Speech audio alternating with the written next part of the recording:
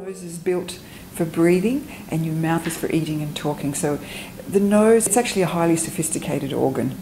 And our nose prepares the air for our body. There are 32 different functions for the nose. The nose is like an air conditioner. It warms, humidifies, and cleans the air.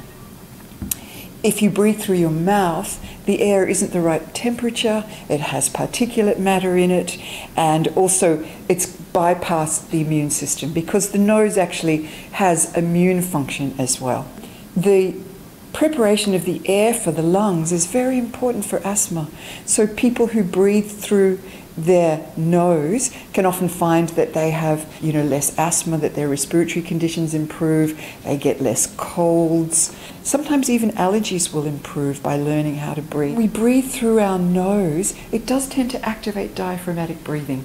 When you breathe through your mouth often you'll have a more abnormal breathing pattern, whereas breathing through the nose will start to trigger a more correct breathing pattern. The more you breathe through your nose, the better the upper airways function. There are actually reflexes that will open the throat.